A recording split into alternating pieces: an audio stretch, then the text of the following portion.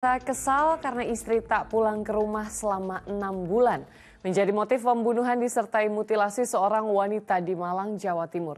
Tersangka yang merupakan suami korban bahkan sempat meminta bantuan tetangga untuk mengangkut barang yang ternyata berisi potongan tubuh istrinya.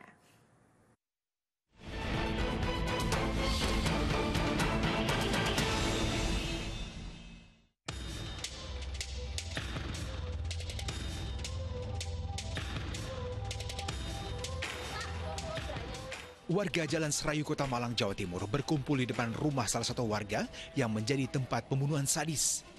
Ya, terduga pelaku adalah pemilik rumah, seorang pria berinisial JL dan korbannya tak lain adalah istrinya.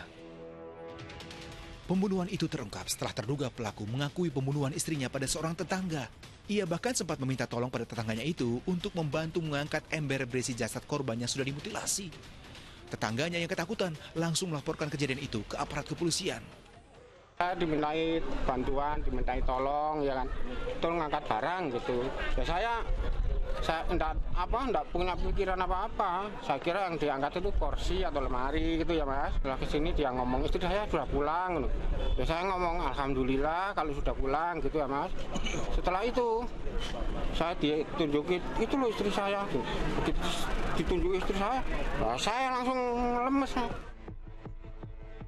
Terduga pelaku, pria berusia 61 tahun itu akhirnya menyerahkan diri ke Mapolsek Blimbing dan diperiksa intensif oleh penyidik Mapores Malang Kota. Olah TKP yang dilakukan aparat kepolisian menemukan tubuh perempuan berusia 55 tahun itu dimutilasi menjadi 10 bagian. Polisi juga menemukan sejumlah benda tajam di sekitar jasad yang diduga dipakai untuk memotong. Guna kepentingan penyelidikan, potongan tubuh korban dibawa ke Rumah Sakit Saiful Anwar Malang, Jawa Timur untuk diotopsi.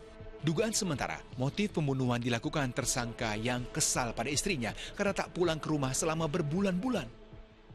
Jadi uh, motif mungkin uh, permasalahan rumah tangga karena si istri ini uh, tidak sudah lama tidak kembali ke rumah.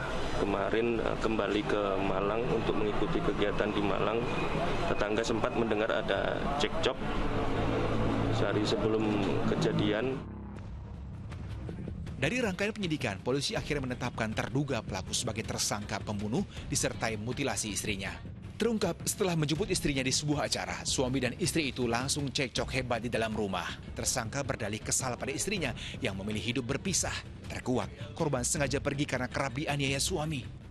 Bahkan saat kejadian, tersangka memaksa istrinya untuk mengakui tuduhan perselingkuhan yang dilayangkannya.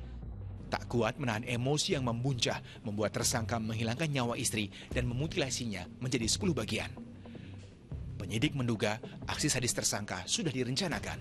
Alat bukti yang kita sita ada dugaan bahwasanya untuk mutilasi ini sudah direncanakan karena pelaku sudah menyiapkan peralatan yaitu berupa beberapa kantong kresek yang kami temukan ketika olah TKP dalam ukuran besar yang baru saja dibeli kemungkinan akan digunakan untuk menghilangkan jasad korban.